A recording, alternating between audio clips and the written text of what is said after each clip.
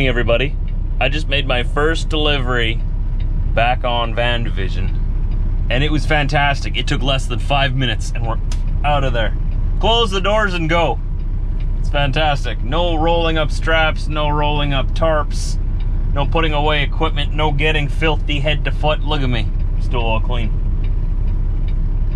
It's time to go to our next delivery, but first we need to make a pit stop. You know, uh, I told my wife yesterday if I didn't have bad luck, I wouldn't have any luck at all. Well, as I was delivering this freight here, uh, I had a leaking brake brake pod develop. It wasn't doing that before, but uh, when I released my tractor brakes, I have an air leak behind my cab. So I did some investigating, and I found out that my driver side front axle brake pod is leaking air not good. Can't go down the highway like that. So lucky for me, we're right in town, and there's a shop literally around the corner here. And I'm gonna bring the truck there, and they're gonna replace that brake pod for me. And here's the best part. You know, I have no, I have bad luck. I told you that. Uh, that's not the best part. I have bad luck. Everything keeps breaking. And you know how stressed out it gets when my truck breaks. But guess what? I'm not stressed out. You know what the good news is? I don't have to pay for it. I just bring it there and they fix it and I'm on my way. I'm already benefiting from getting out of that Volvo. Let's go get this brake pod replaced and let's get on our get on our way. Our next delivery is in Quebec. It's in Saint Raymond, Quebec. I think they would say Saint Raymond. Oui, oui, Saint Raymond, Quebec. We're just gonna call it Saint Raymond, Quebec, just to bug them. I've got to turn around here though. And there's the shop right there. Expert Garage. Hopefully they got time and parts for me. They should. Doesn't look very busy here. Give them some of my business. Well, not my business, but they're to fix my truck for me.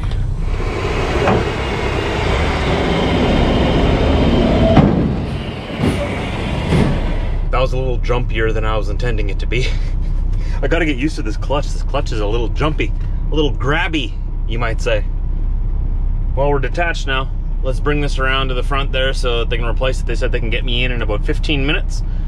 I'm guessing it'll take them less than an hour to replace it. We'll be on our way. And I don't have to stress out at all. I can just go for a walk. Diesel, you want to go for a walk?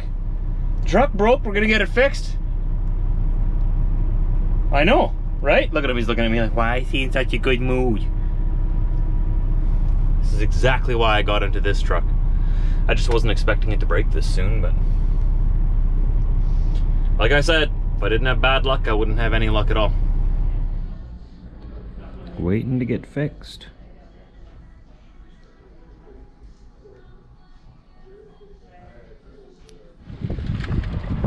Brand new brake pod.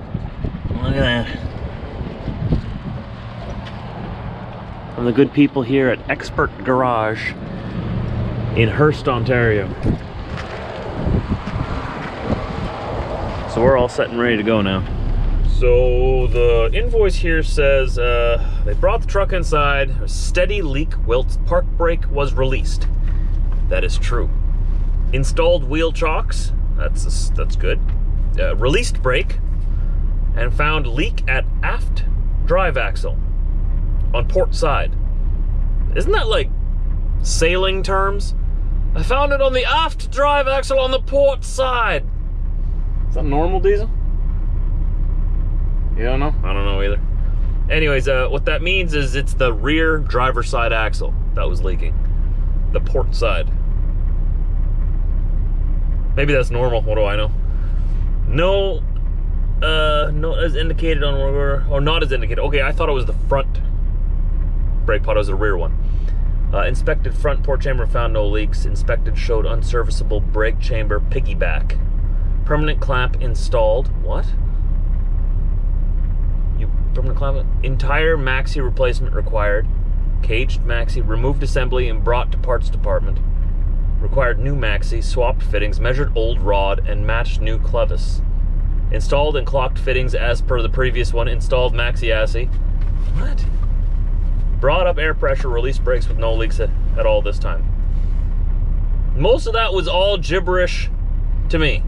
I don't know what that means. They replaced a brake pod and it cost $413.30 Canadian. $413.30 that didn't come out of my bank account. So I gotta hold on to this invoice. The person whose bank account this did come out of is gonna want it. We're gonna hook back up to the trailer and we're gonna head to Saint Raymond, Quebec. Right, Hazel?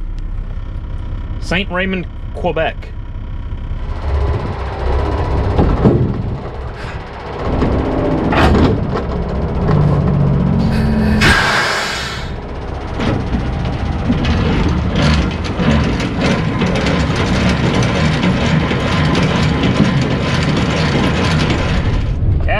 Casing. Got this dam here. I'm assuming that's a power dam. Just coming into town. I'm gonna stop at the Flying J, have a shower, grab a coffee. Back on the road feeling all refreshed and ready to drive a full day. They're doing some blasting over here apparently.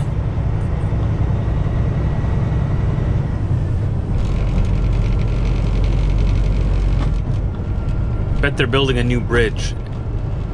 They gotta blast this rock away. Look at this. That looks like a lot of fun.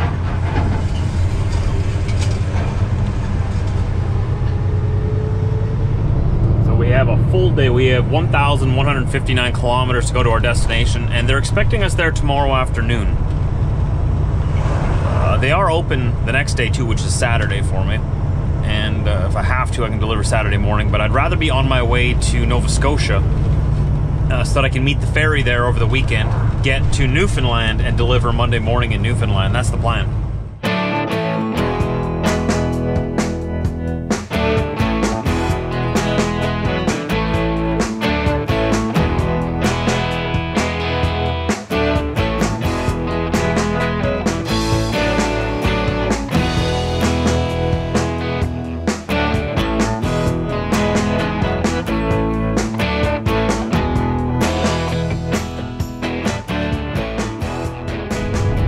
Kirkland Lake, Ontario. It's very close to the Quebec border here.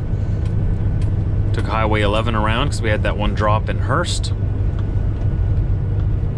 And now we gotta meander our way through this little town here. We gotta be in this lane though. Only one lane goes through.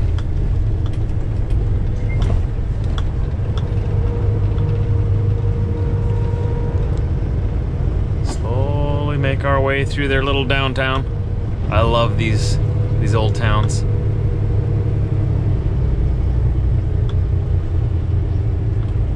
It'd be so neat, like once all the restrictions are lifted from this coronavirus, if we could spend some time making some vlogs in Europe. That would be awesome.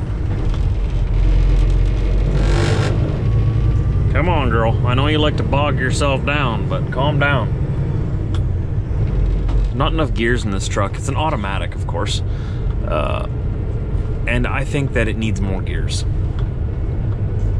I don't think 10 is enough, especially for climbing hills and stuff. Like, this is to be difficult with heavy loads getting through the mountains. Welcome to, or I guess I should say, bienvenue uh, to Quebec. Bienvenue au Quebec. I don't know what that sign says. Au du droit de la mort. I don't know. So we're in Quebec. This is Canada's French province. Uh, it is the only province of Canada that refused to sign the uh, uh, Bilingual Act of Canada, which makes Canada a bilingual country. Uh, Quebec is not bilingual, it is monolingual, it is French only. For some reason, the, the entire rest of Canada uh, went out of their way, bent over backwards, did a somersault, then a backflip, bent over backwards again for Quebec to make the country bilingual, English and French, even though the English won the war. Uh, so we said, yeah, we'll make it, we'll, we'll share, yeah, English and French. And Quebec said, thank you very much, and took their ball and went home. And didn't sign the bilingual act. So Quebec is not bilingual. So when you come here, uh, you better have a translator and a really good GPS. Because all the signs, the road signs, the construction signs, the business signs, everything's in French. And there's a lot of people in Quebec that don't even speak English, or they refuse to speak English. I'm not throwing shade at you, Quebec, at all. I'm not hating on Quebec. Uh, I love you guys out here. I'm, I'm actually, I admire how you guys uh, protect your culture and protect your language. I like that. I'm not really impressed that you didn't sign the Bilingual Act, but whatever. They also didn't uh, sign the Canadian Constitution or something like that. They're, uh, uh it's Quebec. Uh, if, you, if you know Canada, it's Quebec. It's just Quebec. And I'm from the West, so they, for some reason, they don't like the West very much. And uh, the West, well, they're trying to build a pipeline through here, and they keep blocking it. So there's a, they keep button heads a little bit. But I come here in peace. I come in peace with my truck that is bogging down. Why are you going down to 900 RPM climbing a hill? It's automatic transmission. Rattling things away here. I'll figure this thing out yet. I'm still learning how to drive this thing. New truck. But uh, yes, I, I come from the west. I come in peace. I bear no gifts. I'm sorry. Actually, I do bear a gift. I'm dropping something off in Saint Raymond, Quebec. So hey, I can I can officially say I come in peace, bearing gifts, a peace offering, if you will. I love Quebec. I'm just uh, making conversation. I'm sure I, I gave you lots to talk about in the comment section there now. so uh, if you do come here, just uh, remember it's a great place to come visit. It's a unique place, unique place in Canada. Uh, but you do got to know that they speak French here, and there's not very much English. So just you know, be prepared. There's technology. There's apps for that. You know, it's pretty cool. It's sort of like you're visiting a different country, but still part of Canada. And they still have the money with the face of our queen on it, which I'm sure drives them nuts. oh boy, having the English queen on your money in Quebec. I mean, that's got to really bug them, right? Am I opening up old wounds here? I mean, am I putting salt in there? I mean, does it bug you every time you, you look at your coins and your $20 bills and see the English queen on there? I don't know just messing with you guys. I'm in a good mood. I'm not sure what town this is. But something French. These roads aren't that great though. Yikes. So far the roads have been pretty good in Quebec, but man, I got to this town, it's just, wow. One of those places where you gotta tighten the bolts after you leave town. Can't read any of the signs. It's all in French. All in French. And in Quebec, you'll notice that uh, their stoplights are sideways. And when it turns red, there's two red lights on every one. Just to make sure you see it. And there's tons of churches. Tons of churches everywhere. Quebec is a very, well, they're French, so they're very Catholic, right? The English parts of Canada are more so Protestant where, back where I come from, but lots of big Catholic cathedrals and parishes. I think that's what they call them. I'm not Catholic, so I don't quite understand the way it all works, but they got the most beautiful buildings, I tell you that much. The Catholics know how to build beautiful, beautiful churches.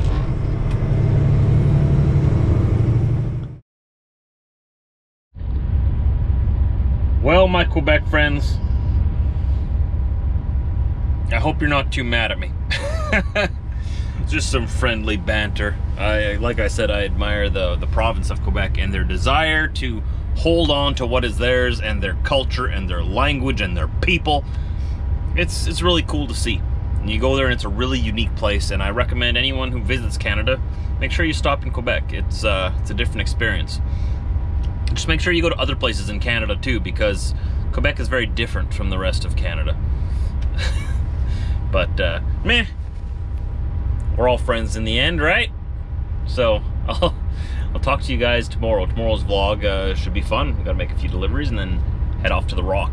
We're going to Newfoundland. I'll hold off on the Newfie jokes for now, okay, until we get there.